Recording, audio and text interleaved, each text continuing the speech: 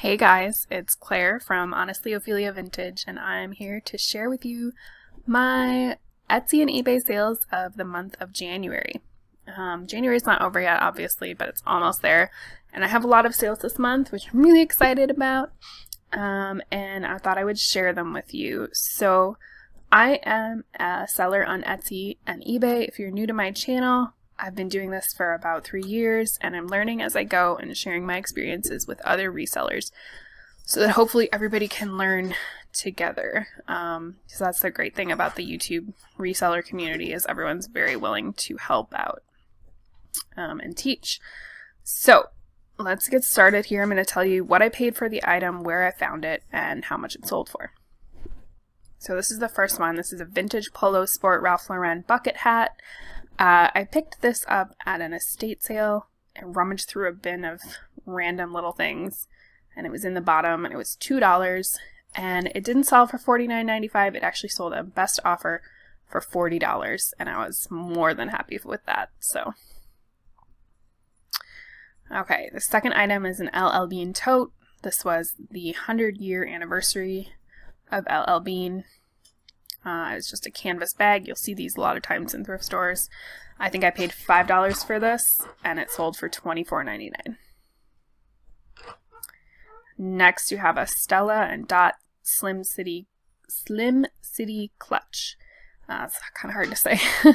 this was in beautiful condition. Um, it was $4.99, which is a little bit much for me, but I just thought this is so cute. Someone was going to love it and it's sold actually on best offer for $17 plus shipping. Okay, this is why I always check out the kids rack because you never know what you're going to find and I've sold this before, one of these before, um, and I knew that this could make a good profit. So I paid $6, which is a bit much for me, but it did sell. I took a best offer for this one of $32.99 plus shipping. Okay. This, guys, was super exciting. This is my biggest sale to date. So I'm loving 2018 so far. my husband and I went to a church rummage sale. They had a whole bunch of these vintage Nancy Drew books, hardcover from the 50s and 60s. I grew up on these books. I love them. I immediately recognized them. And they were kind of all sitting on a shelf, and I thought, well, if they're still there when we leave, maybe I'll look at buying them. Um, because I had no idea how much they were charging for the whole set. But it ended up being only $20. And these sold at a best offer of 200 plus shipping, and they went to Canada through the uh, global shipping program.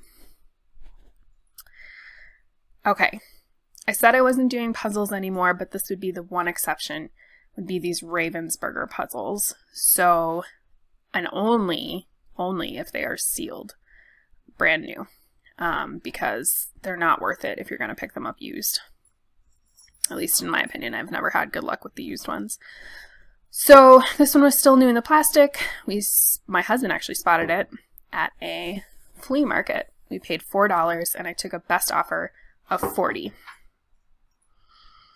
Okay, these shoes, which I thought were totally awesome, were up for a long time. Nobody really seemed interested. I mean, I got a lot of hearts and things like that on Etsy, so I finally put them up on auction on eBay, and they sold for $11.99 plus shipping. Um, I don't know anything about dolls. I don't really like dolls, like creepy ones, staying in my house, so I was happy to get rid of these. A friend had given us these um, so they were free. I put them up on auction just to see what would happen, and they sold for a whopping $4.95. But that's okay because they were free, and I got the creepy dolls out of my house. Okay, um, speaking of puzzles, I am not picking up puzzles anymore, but I had a ton of them that I needed to just clear out. So this was kind of the month of clearing out old inventory that was just not moving. It was sitting and sitting and sitting, and I could have waited maybe to get whatever I originally wanted to get for these items, but I just decided I need to make room for other stuff that's coming in. These were things I bought a while ago, so let's just get them out of the house and make a little money.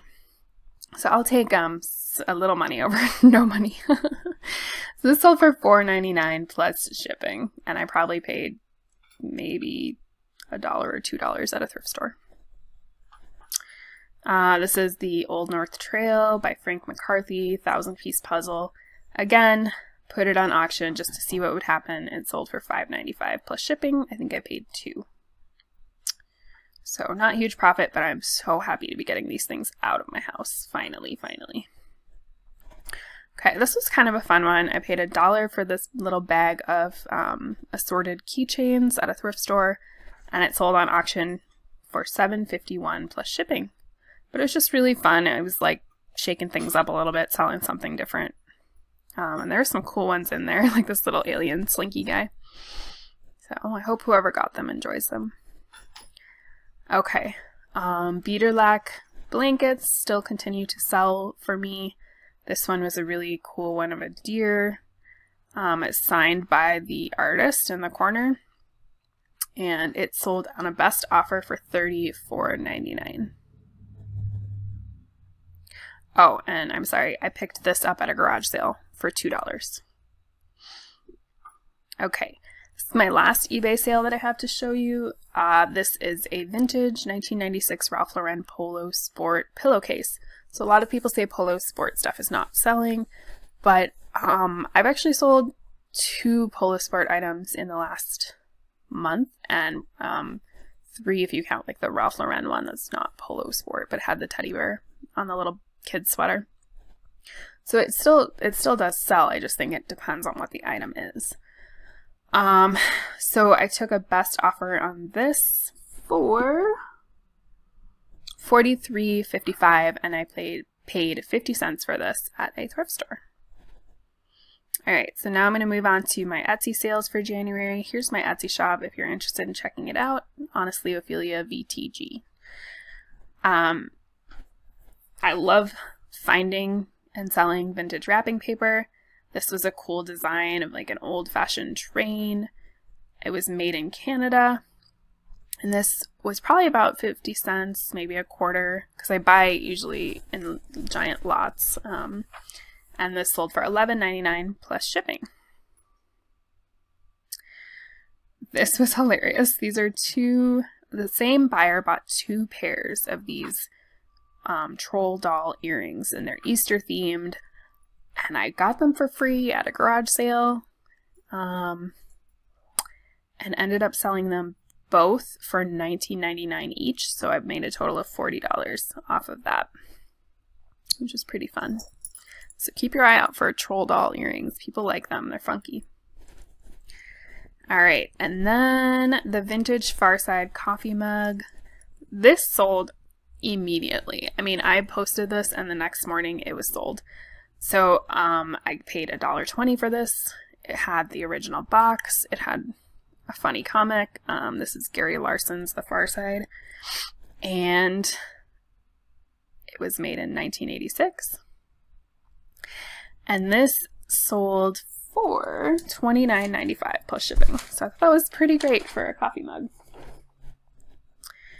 Um, I don't know if you guys remember, I picked this up and showed it in one of my haul videos. This is from an estate sale, Smokey the Bear tote bag. And I had this on eBay, no takers, put it up on Etsy, and sure enough, away it went. So Etsy just has a very different um, crowd, I think. And I think Etsy is kind of geared towards those people who are looking for something kind of hipsterish or really, really unique or, um, yeah, they're not necessarily looking for the lowest price like some of the people on eBay, I think. So, and that's kind of a broad generalization, obviously, but Smokey the Bear tote bag, paid about 50 cents.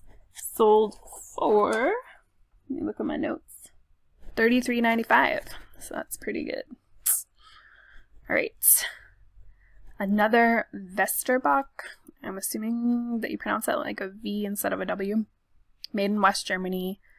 Um, I've been finding these mugs pretty frequently. This was a really fun one. Even if it weren't Waechtersbach, I would have picked it up just for the graphic. So it's basically these girls and they're reading with their backs to giant books. And this is from the 1970s. And I paid 99 cents for this. and I sold it for $14.30 on sale. Okay, vintage Mickey Mouse baseball cap. I got this actually, I think, at the Goodwill outlets or something, or one of the bins that you dig through. Um, so I probably didn't pay more than 50 cents for it. And this sold for $28 plus shipping.